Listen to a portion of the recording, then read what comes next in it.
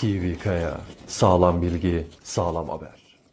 Size günaydın, hayırlı günler, hayırlı cumalar. Arkadan yankı Hayırlı cumalar hocam.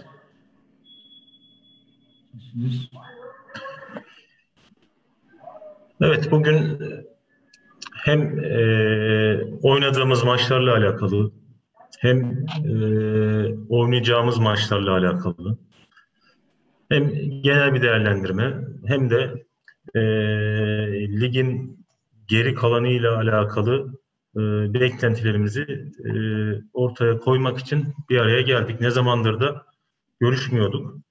Bu vesileyle de sizleri görmüş olduğumuza da çok sevindiğini de söylemek istiyorum. Tabii sözlerime öncelikle e, Samsun şehri için, Samsun Spor camiası için ve bizler için e, çok önemli olan e, ve gerçekten bu kadar e, kısa bir süre içerisinde e, hepimizin kalbinde çok farklı bir yer edindiği e, ve e, ben şahsi olarak kanaatimi söyleyeyim. Yani bu kadar kısa süre içerisinde e, bir insanı ancak bu kadar fazla sevebilirdim. Abimizi, büyüğümüzü, e, bizim için çok değerli bir insanı kaybetmenin e, üzüntüsünü yaşadık ve Mustafa Kemal Erkanat abimize buradan tekrar e, Allah'tan rahmet diliyoruz ve Samspor camiasının da ve yakınlarının da başı sağ olsun diyorum. Tabii Mustafa abinin vefatıyla beraber çok duygusal ve beraberinde de tabii üzüntü duyduğumuz e, günler yaşadık. Bu konuyla özellikle girmek istedim çünkü hakikaten bizim için çok önemli bir e, insandı. E, daha sonra da işte e, sizlerle biraz evvel de söylediğim gibi e, bu yaşadığımız süreç, süreç içerisinde yaşananlar, işte oynadığımız karşılaşmalar, e, genel bir durum. Bunu bunu e, paylaşmak istiyorum. Tabii sizler sormadan hemen ben e, konuya gireyim ve bu konuyu e, bu görüşmemizin başında halledelim. Ondan sonra tabii daha farklı konulara değinmek istiyorum. Tabii bu arada e, Başkanımız Yüksel Yıldırım'a da e, tekrar geçmiş olsun dileklerimizi e, iletmek istiyoruz. Yaklaşık bir aydır e, hastanede e, Covid'le mücadele ediyor. Ve bu bir ayın e, bir bölümü yoğun bakımda geçti. Yaşam mücadelesi verdi. Gerçekten çok ağır e, sınavlardan geçti. E, tabii işin bu e, psikolojik boyutuyla alakalı bayağı bir yıprandı. Allah izin verirse inşallah birkaç gün içerisinde e, evine geçmesini diliyoruz. Tabii bu süreç içerisinde yaklaşık 40 yıllık arkadaşı, kardeşi, dostu, işte Mustafa abiyi kaybetmenin üzüntüsünü de yaşadı. Ve e, bu sürecin işte e, sonlarına doğru da maalesef e, işte biz bir Bursa Spor karşılaşması yaşadık. Tabii ki bu kadar yaşanan sıkıntılardan sonra e, Bursa Spor karşılaşmasında işte biraz moralini, motivasyonunu e, arttıracak haklı olarak bir sonuç bekledi. E, ama maalesef tabii e, hepimizin üzül başkanımız bizim için çok değerli. Biz kendisini çok seviyoruz. Ve e, o burada bizim abimiz, oyuncularımızın da babası. Dolayısıyla bizler, bizler bugüne kadar aile içerisinde yaşadığımız bazı sorunlar oldu. Bunları kendi içimizde çözmesini bildik.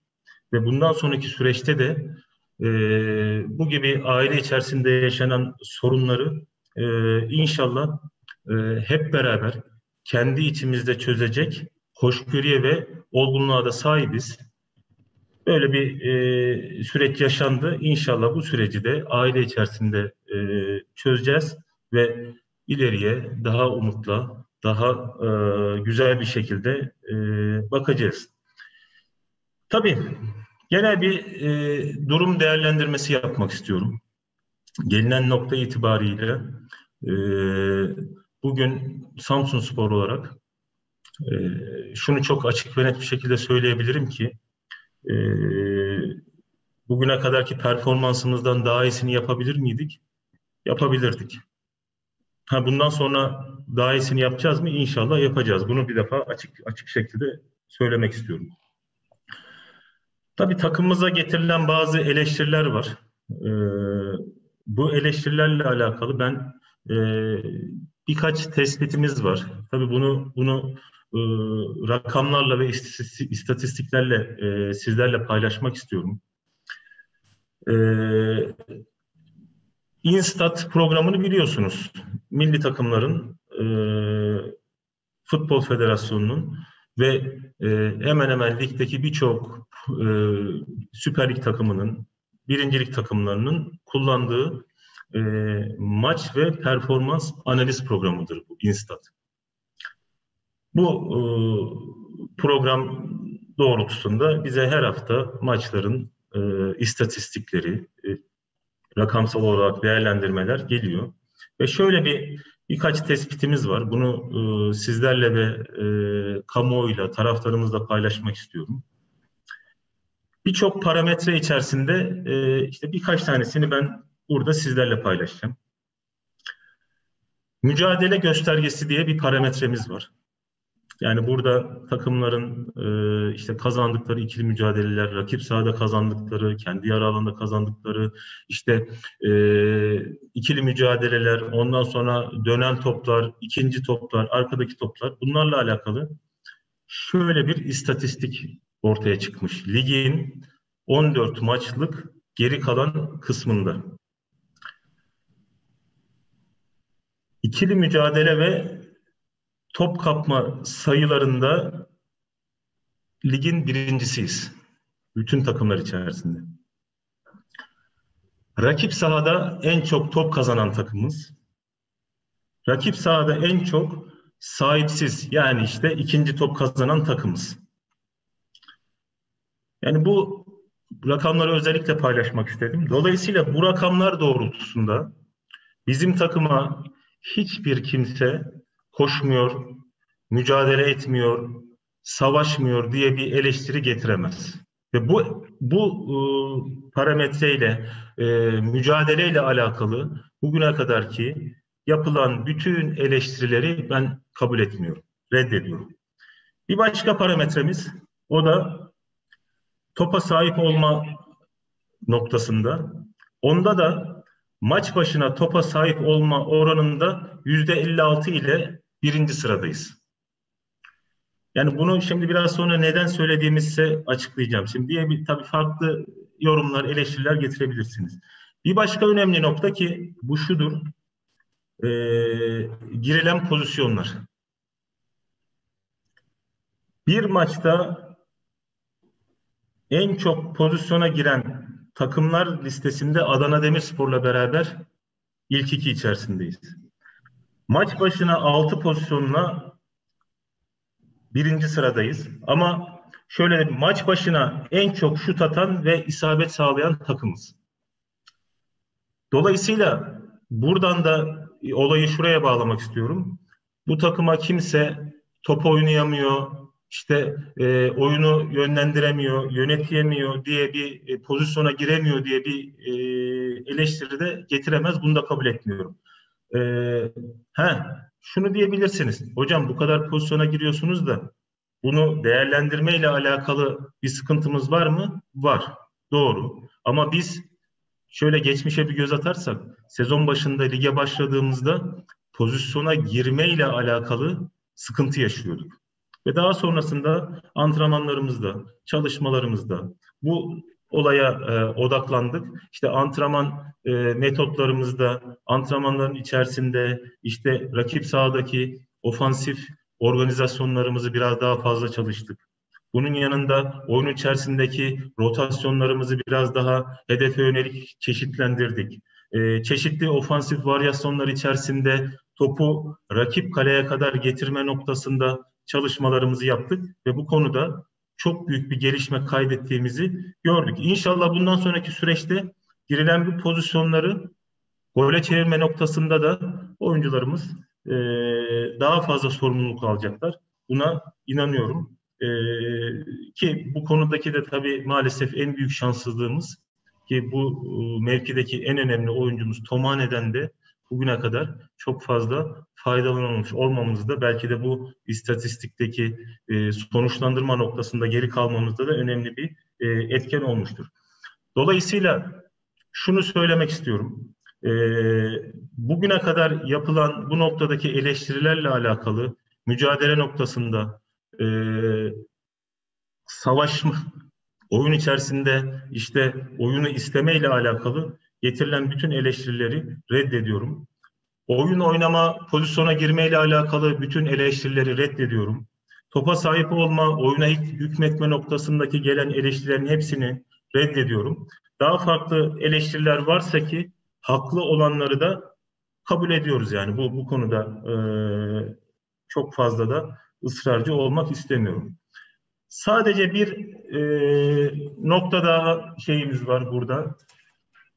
Güzel bir analizimiz var. Bursa Spor maçı ile alakalı ki tabii hepimizi üzen bir karşılaşma oldu.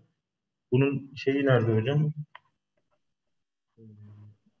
Bursa Spor'la alakalı şöyle bir şeyimiz var. Aklımda e, duruyor. Tabii topa sahip olma noktasında e, yüzde 63'lük bir oran var.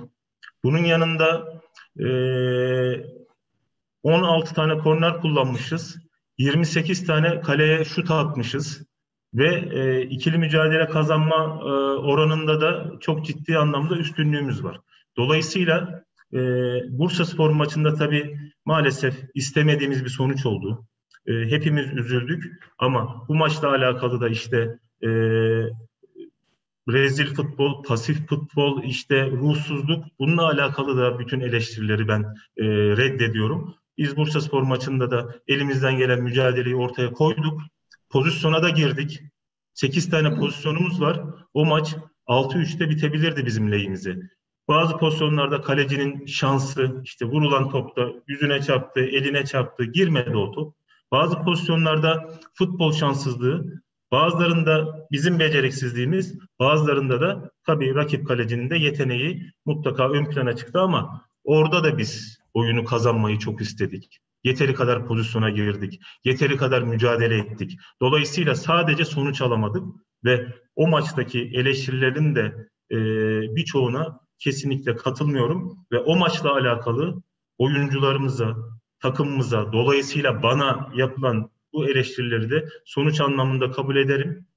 İstediğimiz sonucu alamadık ama oyun içerisindeki mücadele, istek, e, gir, pozisyona girme, oyunu yönlendirme noktasında da yapılan eleştirileri kesinlikle kabul etmiyorum. Şimdi tabii e, bir konuya değinmek istiyorum. Bu hepimizi ciddi bir şekilde rahatsız ediyor ve belki de sezon sonuna kadar da rahatsız edecek bir durum.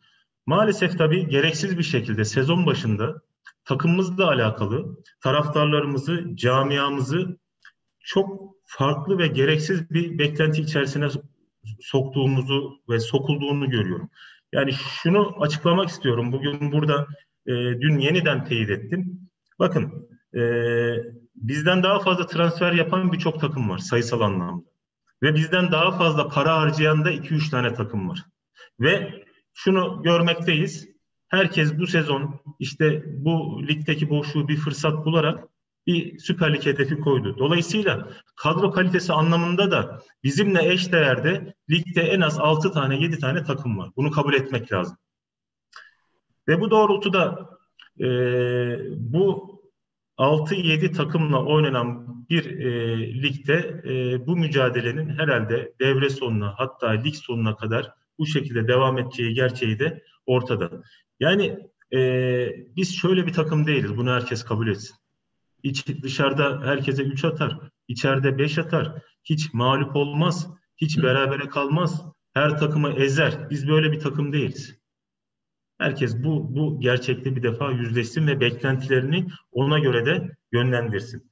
Bunun yanında bunun yanında şöyle bir sıkıntı da yaşadık biz. Tabii maalesef tabii e, belli oranda e, kadromuzu takviye ederken sakatlık ve Covid sebebiyle de e, bu kadroyla istediğimiz kadroyla da daha bugüne kadar mücadele edemedik. Böyle bir şanssızlıkla da karşı karşıyayız. Ha, şunu da açıkça söylemek istiyorum ki neredeyse neredeyse işte e, bir önceki sezon, geçtiğimiz sezon değil, bir önceki sezon işte çok büyük e, yatırımlar yapılarak, paralar harcanarak çıkılamamış yani birinci lige çıkı, çıkılamayan kadrodan sonra geçtiğimiz sezon işte e, ikinci ligden birinci lige çıkmak için kurduğumuz kadroyla bu mücadeleyi verdik biz bugüne kadar. Dolayısıyla e, şunu söylemek istiyorum. E, yani hakikaten bu çocukların verdiği mücadeleyi de e, takdir etmek lazım. Yani biz çok eksik mücadele ettik. O yüzden bu konuda da e, bazı dezavantajlarımızın, yaşadığımız olumsuzlukların da göz önünde bulundurulması, takım performansı ve gelinen nokta itibariyle bir değerlendirme yapılacaksa bu gerçekler doğrultusunda değerlendirmelerin yapılmasını istiyorum. Şimdi şuraya getireceğim işi. Bakın ben şunu açıkça söylemek istiyorum. Ben Samsun Sporluyum. Bunu Beşiktaş'a gittiğimde de, Beşiktaş'ta mücadele ederken de, Bursa Spor'la şampiyon olurken de, Kayseri'de Avrupa Kupası'na giderken de her fırsatta dile getirdim. Samsun Sporlu olduğumu, Samsun Spor'un benim için çok farklı bir yeri olduğunu her fırsatta dile getirdim. Ve buraya gelirken de buraya gelirken de e, geliş sebeplerimin başında Samsun Spor arması ve Samsun Spor sevgisi vardı. Dolayısıyla geldik ve başkanımızla beraber bir hedef koyduk. Hani o gün de ifade ettiğim gibi bu açıkça bir meydan okumaydı. Ve ben halen meydan okumaya devam ediyorum. Ve bir hayalimiz var dedik. O da öncelikle bu takımı Süper Lig'e çıkarmak.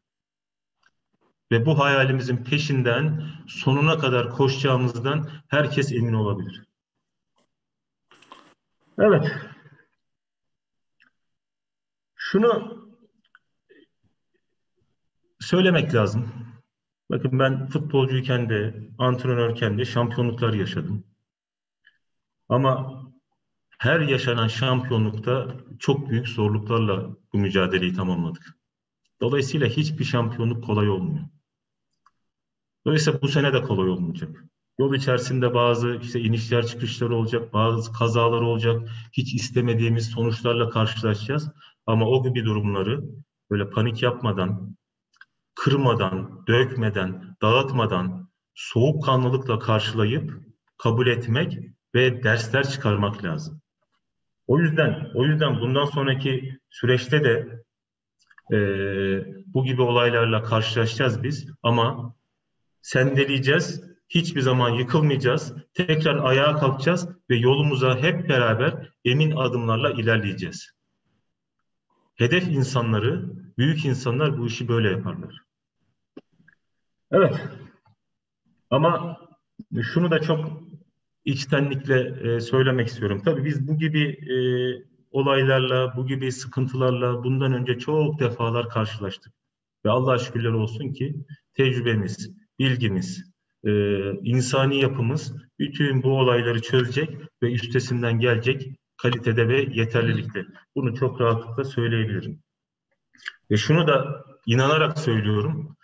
Ben ilk günkü heyecanımı hala saklıyorum kendimde. O heyecan hala bende var. Dolayısıyla şehrime, taraftarıma, camiama, takımıma, kulübüme, başkanıma, yöneticilerimize eskisi gibi, ilk günkü gibi güveniyorum ve inanıyorum ki biz kenetleneceğiz, birbirimizi sahipleneceğiz ve e, bu işin sonunu getireceğiz. Tabii burada şunu da söylemek istiyorum. Bugün 24 puandayız ve ligin liderinden sadece 3 puan gerideyiz. Önümüzde üç tane maç var. Bunların iki tanesi içeride, bir tanesi Ankara Spor deplasmanı. Ve bizim takımımız, bizim kadromuz, bizim çocuklar bu üç maçı kazanacak yeterlilikte, kalitede ve yüreğe sahipler. Ve ben bu çocukların hepsine kendim gibi inanıyorum. Bu çocuklar çıkacaklar, sorumluluk alacaklar, olayı sahiplenecekler, birbirlerine kenetlenecekler ve bu üç maçı da kazanacaklar. Ve alacağımız dokuz puanla iddia ediyorum ki bu takım devreyi ya birinci ya ikinci en kötü liderden bir ya da iki puan her şey yani üsttekilerin de kazandığını e, düşünürsek en kötü liderden bir ya da iki puan geride ligi en kötü üçüncü bitirir. Ben daha yukarıda bitireceğine inanıyorum. Ve biz bu kalan 9 puanın hepsine ikinci yarıda da 51 tane puan var. Bunların hepsine talibiz. Bunların hepsini almak için mücadelemizi ortaya koyacağız. Evet. Demin de söyledim. Önümüzde şu anda hep beraber düşünmemiz gereken bir olay var. O da Bolu Spor karşılaşmasına kadar hem teknik hem taktik olarak hem mental olarak oyuncularımızı maça hazırlamak, onların motivasyonlarını arttırmak ve e, bu maçı kazanacak e, sinerjiyi oluşturmak. Bunu yapacak gücümüz de var, yeteneğimiz de var. Oyuncularımız da zaten Balıkesir Spor karşılaşmasıyla onlar da bu işi ne kadar sahiplendiklerini ve bu işe ne kadar inandıklarını gösterdiler ve güçlü bir karakter ortaya koyarak, güçlü bir duruş sergileyerek bu işi, bu olumsuzluğu ortadan kaldırdılar ve inşallah da bunun devamını da getirecekler. Ben onlara sonuna kadar inanıyorum ve güveniyorum. Evet benim söyleyeceklerim bunlar. Bugün cuma biliyorsunuz. Cuma namazımız var. O yüzden fazla şey yapmadan, olayı uzatmadan da sorularınız varsa alabiliriz. Başlayalım. Var mı arkadaşlar? Salim. Hocam e, öncelikle merhaba, hayırlı cumalar. Sağ olun. E, Samsun Medya Grubu. Hocam şimdi tabii ki e, Ertuğrul Sağlam denilince ister istemez e, sizden çok büyük bir beklenti e, camiada var. Ki e, CV'nize baktığımız zaman az önce siz de bahsettiniz. Şampiyonluk, e, şampiyon yazan e, bir CV'niz, bir geçmişiniz Evet. var.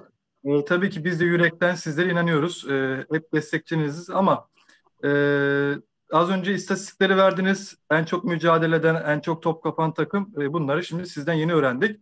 Ama saha içerisinde genele baktığımız zaman hocam sanki o istatistiklerden biraz uzak kalıyormuşuz gibi görüyoruz. Ve e, bu birinci sorum. İkinci sorum da hocam en çok merak edilen şu an taraftarlar arasında, cami arasında e, takım içerisinde bir gruplaşma var olduğu söyleniyor. Size karşı oyuncuların böyle bir yaklaşımda olduğu söyleniyor. Bu ne kadar doğru hocam? En yetkili ağız sizden duymak istiyorum.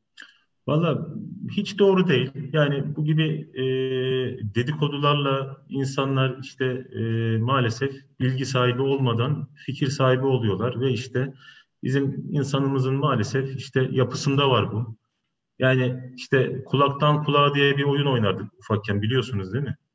Evet. Böyle böyle 8 kişi baştaki başlar bir şey der. Mesela o sondan çıkan e, laf baştakiyle hiç böyle birbirine benzemez, uyuşmaz yani. Saçma sapan bir şey çıkar. Dolayısıyla bizim oyuncularımız da bugün itibariyle e, geçmişte de bu sıkıntıyı yaşamadık. Bugün itibariyle çok doğru ve düzgün bir ilişki var. Onların bizde inancı, bizim onlara inancımız e, hiç bozulmadı, hiç zedelenmedi. Bu konuda e, kim ne söylüyorsa, aksini söylüyorsa bilin ki bunlar Samsun Spor'u seven insanlar değildir. Samsun Spor'u karıştırmak ve içeri fitne, fesat sokmak isteyen insanlardır. Dolayısıyla bu gibi e, kötü niyetli insanlara bence itibar etmeyiniz. Şimdi e, şunu iddia etmiyorum ben. Biz mükemmel oynuyoruz, süper futbol oynuyoruz demiyoruz. Zaten e, biraz evvel de açıkladım. Yani şu günkü e, kadro kalitemiz de elinden geldiğince mücadele etmeye çalışıyor. Kendi yeteneklerinin üst sınırda takımın menfaati için ortaya koymaya çalışıyor ve ortaya bir ürün çıkarmaya çalışıyoruz biz. Dolayısıyla eksiklerimiz yok mu? Var. Ee, yanlışlarımız yok mu? Var. Yapamadığımız şeyler yok mu? Var. Bunu iddia etmiyorum ama bazı parametrelerle alakalı ben demin gerçek yani bu resmi rakamlardır. Bunları ortaya koydum. Zaman zaman oyun içerisinde gidiyoruz, geliyoruz. istemediğimiz şeyler oluyor. Ama bunu yine söylemek istiyorum size. Yani biz öyle her maçı vurup geçecek, her maçı böyle süprese edecek, her maçta rakibi ezip e, üstünlük sağlayacak bir takım değiliz. Bunu bunu kabul etmek lazım. Yapıla, yapabileceğimizin en iyisini yapmaya çalışıyoruz. Yani öyle bir takım oluşturulur mu? Oluşturulur. Ama bunun da bir e, bedeli var tabii ki. Teşekkür ederim hocam. Selçuk. Ee, hocam merhabalar, hayırlı cumalar. Ee, hocam şimdi şöyle başlayacağım. Sayın Başkan e, çok ağır eleştiriler yaparken takıma birkaç gün sonra siz oyuncularınıza sahip çıktınız. E, bu dönemde mutlaka Sayın Başkan'la görüşmüşsünüzdür. Bu görüşmelerde neler yaşandı ben bunu merak ediyorum. İkinci sorum da e, takıma e, anladığım kadarıyla siz e, takımdan memnunsunuz ve buna rağmen e, bir yenilgiden sonra 30 bin lira para cezası verildi. Bu para cezası verilirken sizden bir rapor alındı mı ve cezayı nasıl değerlendiriyorsunuz? Yok. Ceza tamamen yönetimin e, kendi tasarrufudur. Benim ceza ile alakalı ne bir e, isteğim olmuştur. Hatta e, bu cezayı ben e, olmaması gerektiğini söyledim. Yani böyle bir cezayı bir defa oyuncularımız hak etmiyor. Bunu demin de söyledim yani. E, rakamlarla da söyledim. Kendi duygularımı da ifade ettim. Ama yönetimin kararıdır. Tabii ona e, şu aşamada e, çok fazla e, yapabileceğimiz bir şey yok. E, başkanla tabii e, başkanımız hastanede şu anda halen biliyorsunuz. Başkanımızla İnşallah en kısa süre içerisinde hastaneden çıktıktan sonra bir görüşmemiz olacak. E, ve orada tabii e, bazı noktalarda e, bugünle alakalı, gelecekle alakalı tabii yapmamız gerekenlerle alakalı e, bazı tabii önemli noktalarda görüşmelerimiz olacak. E, onun dışında da e, yine söylüyorum yani bizim takımımız, bizim oyuncularımız, e, bu kadar ağır eleştirileri e, hak etmiyorlar. Bunu çok açık söylemek istiyorum. Teşekkür ederim. Verdi. Buyur. Hocam merhaba öncelikle. Ee, devre arası yaklaşıyor hocam. Eksik mevkiler belirlendi mi? Özellikle yedek bir sol bekimiz yok. Forvet hattımızda eksiklikler var. Belirlendi mi? Kaç takviye düşünüyorsunuz hocam? Ya belirlendi. Tabii biz e, işte zaman içerisinde sakatlıklar, e, işte performans eksiklikleri, yani bunlar tabii bize gelecekle alakalı bazı şeyleri çok net bir şekilde e, gösterdi. E, tabii takviyelerimiz olacak. Bu konuda çalışmalarımız da başladı ve devam ediyor. Yani bu konuda bizi ikinci yarıda şampiyonluk yarışından eksik bırakmayacak. İşte herhangi bir noktada açık bırakmayacağımız e, yani herhangi bir en ufak bir açığı bırakmamak gerektiğini ilk devre içerisinde yani bugüne kadarki dönem içerisinde gördük. E, bazı şeyleri de yaşadık tabii. Bazı oyuncularımızın performansıyla alakalı da tabii e, net e, performans değerleri de ortaya çıktı. Bunların doğrultusunda ikinci yarı şampiyonluk için e, ve hepimizin hayali olan Süper Lig için gerekli takviyelerimizi yapacağız inşallah. Hocam Başka var mı arkadaşlar? Buyur. Caner buyur.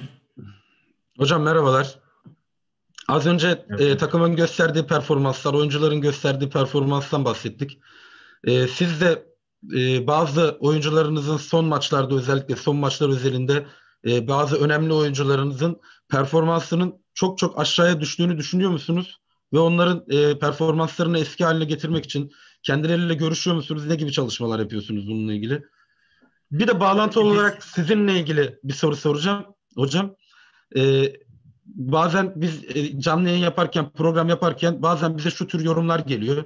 Ya Ertuğrul Hoca kulübede çok mutsuz. Ya Ertuğrul Hoca'nın yüzü gülmüyor. Hani biz de e, nacizane bir şekilde cevap veriyoruz. Hani Ertuğrul Hoca öyle. Yani duygularını çok yansıtabilen bir insan değil diye söylüyoruz ama yani, siz de kendiniz açı, he, siz de kendinizi kendinizi burada ifade etmek istersiniz. Yani Samspor'da ne kadar mutlu olduğunuzu yani arkadaşımızın e, belirtmek istersiniz diye söylemek ben istedim. yani. Kulübede nasıl bir görüntü çizmem gerekiyorsa hani e, maç içerisinde tabii o streste e, ben daha hayatımda işte gollerin dışında kulübede gülemedim yani. Gülemedim. Dolayısıyla yani nasıl bir e, değerlendirme anlayışı varsa e, tabii çok fazla da böyle kulübede e, hareketli olan e, başka antrenörler gibi böyle çok renkli bir insan değilim. Doğru. Daha tamamen oyuna odaklanıp orada ciddiyetimi korumaya çalışıyorum. E, performansı düşen oyuncularımızla alakalı biz zaten her maçımızı bir defa e, analizini çok ayrıntılı bir şekilde yapıyoruz. Bireysel anlamda oyuncularımızla görüşüyoruz. Maçta yaptığı hatalar, güzel şeyler neyse onları kendisiyle ve takım halinde paylaşıyoruz. Rakiplerimizle alakalı analizlerimiz, e, çok ciddi, yoğun çalışmalarımız oluyor. Dolayısıyla bu, bu e, bilgileri biz oyuncularımızla paylaşıyoruz. Yani performansı düşen arada oyuncularımız oluyor mutlaka. İşte görüyorsunuz onları da zaman içerisinde ya değiştiriyoruz, ya oyundan çıkarıyoruz, ya işte farklı şekillerde e, e, görüşmeler yapıp ona bazı e, futbol doğrularını, gerçeklerini anlatmaya çalışıyoruz. Yani bu konuda e, çalışıyoruz. Mutlaka hani her şey mükemmel olduğunu söyleyemem ama biz elimizden geldiğince takımımızın ve oyuncularımızın gelişimi için burada işte e, biliyorsunuz ben burada kalıyorum. Tesisteyim. Daha ev tutmadım Samsun'da. Dolayısıyla sabah kalkıyoruz. İşte sabahın erken saatinde geliyorum. Odam burası. Yatağımdan 50 adım. 50 adım geliyorum. Odama başlıyorum çalışmaya. İşte gün boyu buradayız zaten. Dışarıda çıkmıyoruz. Akşama kadar işte çalışıyoruz. Bu çalışmalarımız takımla, oyuncularla, performansla alakalı. Dolayısıyla çalışıyoruz yani daha iyi yapmak için, daha iyi bir takım oluşturmak için. Evet. Başka var mı arkadaşlar sorusu olan? Erdal abi. Başka Buyur abi. soracak arkadaşlar varsa. Alo, Efendim Erdal abi. iyi cumalar. Ee, Cumanızın Hayırlı cumalar sağ olun. Ee, sorumu sormadan önce Erkan Ata Allah'tan cennet olsun. Başkanımıza da çok çok geçmiş olsun dileklerimi iletiyorum. Biz takım az gelen bir takım değiliz hocam. Ee, Ama e, sizleri ben ta- takdir ediyorum, tebrik ediyorum. Neden diyecekseniz hocam, e, çünkü hastalıklara karşı ve aynı zamandaki sakatlıklar karşısında bu takımı zirvedeki e, takımla 3 puan fark var aramızda. E, ben sizleri kutluyorum bu yönden ve sorumu soruyorum. Kalan 3 maçımızdaki düşüncelerinizi almak istiyorum. İkinci yarı takviye yapacak mısınız? Bunu öğrenmek istiyorum. Evet, Selam. evet. Ee, ikinci yarı takviye yapacağız inşallah. Eksik yerlerimizi, e, desteklenmesi gelen olan, gerekli olan mevkilerimizi tespit ettik. Bununla alakalı çalışmalarımız, görüşmelerimiz de devam ediyor. Ee, geri kalan üç maçla alakalı ki bunların iki tanesi kendi e, sahamızda. Ben e, bu çocukların çalışıp, sorumluluk alıp, olayı sahiplenip, birbirlerine kenetlenip, e, bu üç karşılaşmadan da galibiyetle ayrılacaklarına, 9 puan alacaklarına ve yine söylüyorum ilk devrenin sonunda bu takımın bu ligi ya birinci, ya ikinci, ya üçüncü olacağını e, görüyorum. Bunu iddia ediyorum. Allah inşallah bizi, çocuklarımızı, hepimizi mahcup etmez.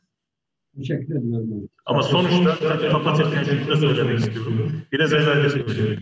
Ben şehrimize, taraftarımıza, camiamıza, başkanımıza, yöneticilerimize, oyuncularımıza, siz bizim destekçimiz olan medya mensuplarına ve Samsun Spor'u seven herkese çok inanıyorum ve güveniyorum. Bu inancım ve güvenim ilk günkü gibi taptaze duruyor. Onun için yapmamız gereken bir iş var. Hepimiz hep beraber birbirimize destek olacağız. Kenetleneceğiz. Böyle arada sendelediğimizde e, hemen böyle bir bir yakıp yıkmayacağız, dökmeyeceğiz. Biraz daha olgun, biraz daha soğukkanlı olayları değerlendireceğiz. Daha e, hoşgörüyle yaklaşacağız bazı konularda ama daha fazla çalışacağız, daha fazla sorumluluk alacağız, daha fazla fedakarlık yapacağız. E, birbirimize sahipleneceğiz ve Allah'ın işiyle, izniyle bu işi başaracağız. Hepimizin hayali olan Samsun Spor'u Süper Lig'e çıkaracağız. Yani bunu hep beraber yapacağız. Hep beraber yapacağız. Teşekkür ediyorum. Hayırlı cumalar diliyorum. TV Kaya, sağlam bilgi, sağlam haber.